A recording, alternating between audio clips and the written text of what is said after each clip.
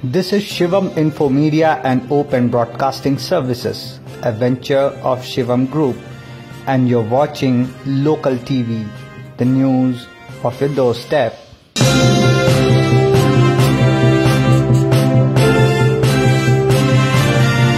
नमस्कार दर्शकों स्वागत है आप सभी का लोकल टीवी पर आज की तारीख है 2 जुलाई 2022 और मैं आपकी अपनी निशा लेकर आई हूँ आज का छोटा डोज तो आइए देखते हैं आज की खबरें।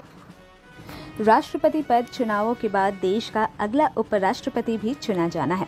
चुनाव के लिए 5 जुलाई को अधिसूचना जारी होने के साथ नामांकन की प्रक्रिया शुरू हो जाएगी और 19 जुलाई तक नामांकन होंगे। 6 अगस्त को चुनाव होंगे और इसी दिन मतगणना भी होगी। मौजूदा उपराष्ट्रपति का कार्यकाल 11 अगस्त को समाप्त हो जाएगा। अतः इससे पहले देश का नया उपराष्ट्रपति भी चुन लिया जाएगा। उपराष्ट्रपति के पद के लिए सूत्रों के हवाले से खबर आ रही है कि एनडीए की तरफ़ से अमरिंदर सिंह प्रत्याशी होंगे। कहा जा रहा है कि पंजाब चुनाव से कुछ महीने पहले कांग्रेस से अलग होकर अपना नया दल बनाने वाले अमरिंदर सिंह के नाम पर एनडीए में आम सहमति हो चुकी है। तीन कृषि कानूनों के विरोध में एक साल से ज़्यादा समय तक चले आंदोलन, कानून वापसी के बाद और केंद्र सरकार की ओर से किसानों के प्रस्ताव मान लिए जाने के बाद से स्थगित कर दिया गया था। हालाँकि अब एक बार फिर किसान संयुक्त मोर्चा यानी एसकेएम अपनी गतिविधियाँ तेज करने की तैयारी कर रहा है। किसानों से जुड़े मुद्दे को लेकर एसकेएम फिर से आंदोलन करने की तैयारी में है। इसे लेकर योजना पर चर्चा के लिए संयुक्त किसान मोर्चा ने कल, यानी तीन जुलाई को उत्तर प्रदेश के गाजियाबाद में बैठक बुलाई है। इस बैठक में मोर्चा से जुड़े सदस्य शिरकत करेंगे। राजस्थान के उदयपुर में दर्जी कन्हैयालाल की हत्या के दोनों आरोपियों रियाज अख्तरी और गौस अहमद का उत्तर प्रदेश कनेक्शन भी सामने आया है। रिपोर्ट्स के मुताबिक एनआईए की जाँच में दोनों आरोपियों के यूपी के कानपुर से कनेक्शन की बात सामने आई है। इन दोनों ही आरोपियों के दावत इस्लामी संगठन से भी जुड़े होने की बात पता चली है। दोनों आरोपियों के पास जो दस्तावेज़ मिले हैं, उनकी जाँच से साफ़ हुआ है कि इनका कानपुर के अलावा दिल्ली और मुंबई से भी कनेक्शन है। तेलंगाना के हैदराबाद में आज से भारतीय जनता पार्टी की दो दिवसीय राष्ट्रीय कार्यकारिणी बैठक शुरू हो रही है। इस बैठक के लिए बीजेपी ने विशेष तैयारियाँ की है।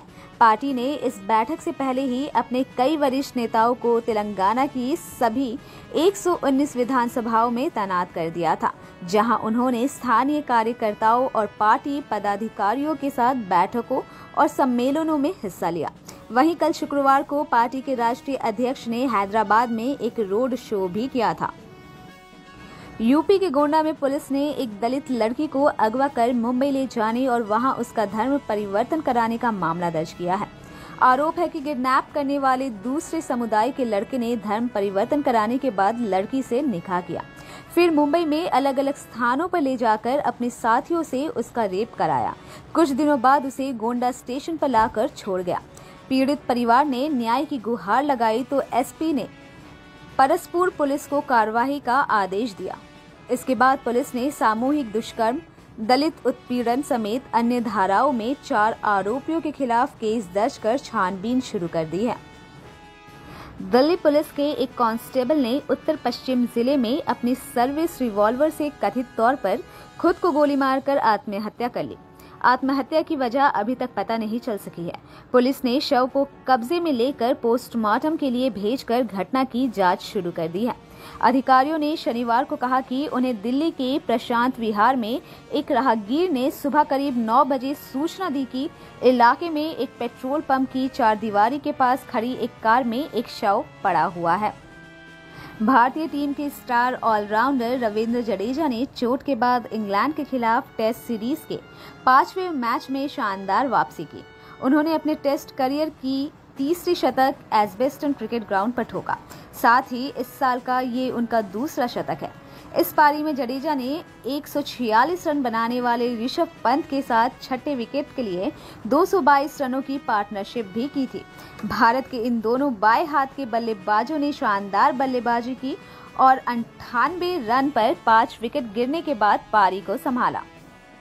तनु वित्स मन्नू रहना है तेरे दिल में, जैसी रोमांटिक फ़िल्मों में चॉकलेटी बॉय बनकर दिल जीतने वाले आर माधवन आज एकदम नए अंदाज में दर्शकों के सामने आए हैं।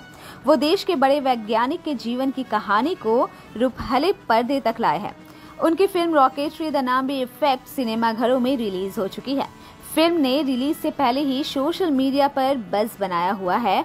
वहीं अब आज सुबह से ही आर माधवन सोशल मीडिया पर छाए हुए हैं। फ़िल्म में हिंदी सिनेमा के सुपरस्टार शाहरुख खान से लेकर साउथ के सुपरस्टार सूर्या भी नज़र आ रहे हैं।